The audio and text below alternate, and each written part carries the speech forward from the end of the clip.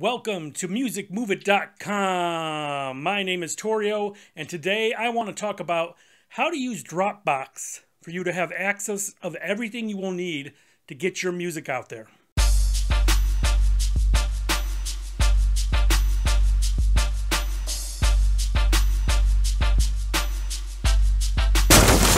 As most of you should know, there's an app called Dropbox, and it basically allows you to upload files to the cloud, basically, and they keep those files safe and you can access them from anywhere. So you could be at your house, go onto your computer or laptop, upload files, download files from your Dropbox account. You can do it from your phone, you can do it from anywhere. That's the beautiful thing about it, you just need your login. Now, why would you want to do this? Well, think about it like this say you're touring or you're just a busy person, constantly out doing stuff and someone calls and they're like, hey, this internet radio station wants to start playing your single. And you don't want to be like on the phone, like, uh, okay, well, after I get done doing this, I'll send them to them tomorrow.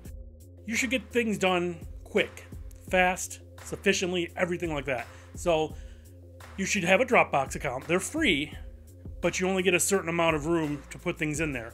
There are different levels where you could pay and store tons of stuff but the free account isn't that bad at all. So you want to have access to these files everywhere because like I said, if you're on about or you're touring and you, you can't get home to get certain files to be sent, you just send it right there. Log into your phone, your iPad, whatever. Access your files. You could share them, email them to other people, whatever you need. Now, what kind of files should you have in your Dropbox folder? Well, you should have waves and MP3s of all the songs off your latest project or whatever you're trying to push lately. Now, not just the full songs, but also the instrumentals to those songs. Because you never know, someone might just want an instrumental because they'll be like, well, I could play it in the background of this, or I could play it as a bumper on my station. And that means that they'll play it while leading into a commercial, or maybe they'll play it underneath when they're talking, stuff like that. So have all your songs from your latest project, regular and instrumental. And if you are in a music genre where you swear a lot or whatever, have clean copies of the songs as well, or at least the singles have radio copies. Then you could send those out to whoever may need them. Also, you should have your album cover, a high resolution file of your album cover. Front and back, if you have a back, it depends if you do the actual CDs and sell them as CDs, or if you just do digital, it could just be the front. But have a file of your album cover. Also, you could kind of have your press kit all in there in, in a file on Dropbox. So that means you would need a high resolution photo of yourself, your headshot, or whatever, your promotional pic, your press kit pic, whatever it may be.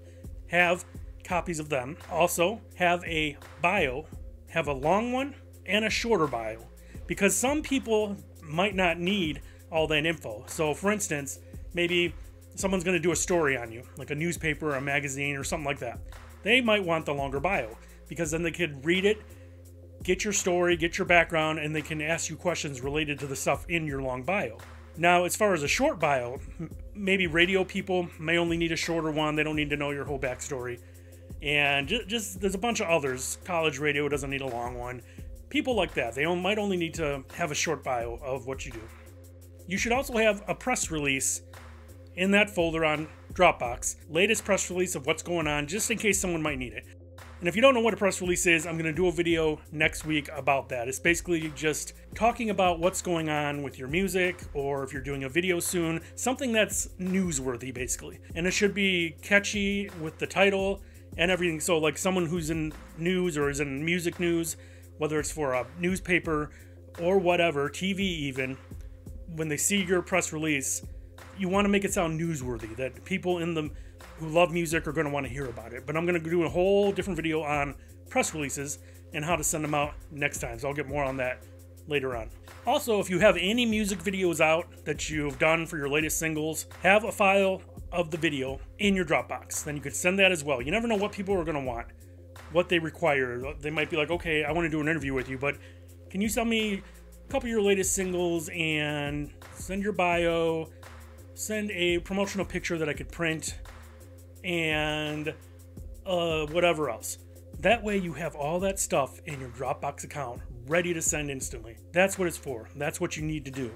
So all this kind of stuff is just it's like your arsenal, ready to go re- for whatever call you may get, or if your manager calls you and says, "I need this, this, this, and this." If you're on the road, get on your phone, send the files out instantly. No more waiting. No more.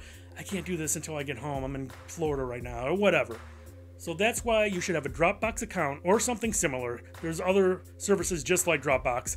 I'm just using Dropbox as, as an example because that's what I use. And have all these files ready to go and can extremely help with your career and possibly getting interviews and radio play and all that good stuff, especially when you're quick. People like that. They don't want to sit around and wait three days for a file to come in. So, next video though, I'm going to get into press kits, so watch out for that. I hope you like this video. Please subscribe if you haven't, if you are in the music industry or you're trying to learn more on music business. Subscribe, hit the bell icon, and they will notify you whenever a new video comes out. I have a whole bunch of videos, over a hundred, I believe, that you go back and watch on my channel, and hopefully they'll help you out. Don't forget to look below in the description. There's a bunch of resources for artists and bands to use, tons of things, tons of discounts on things that people use all the time, like Bandzoogle, TuneCore, all that good stuff. You click the links below, and it'll take you to whatever it says. So it might be like 15% off of this uh, using this link only. So look down there. There's like TuneCore stuff. Like I said, Bandzoogle, all kinds of online things that could be useful for you. So look in the description. You never know what, what might be there. Leave a comment. Do you have a folder that you can use on the go, whether it's on your PC or is it in the cloud like Dropboxes? Let me know. How does it work for you? Do you like it? I want to thank you for watching this video. I will see you soon.